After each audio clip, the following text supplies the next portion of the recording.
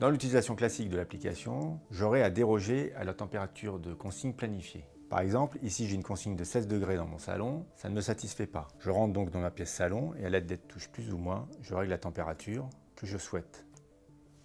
Là je souhaite 20 degrés et je peux régler pendant combien de temps cette consigne va s'appliquer.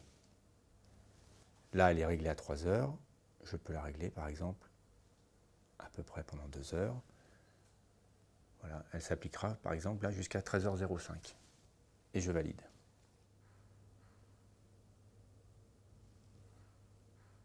Et la consigne est bien de 20 degrés. Après, une fois le temps de dérogation fini, on repassera au planning de chauffe.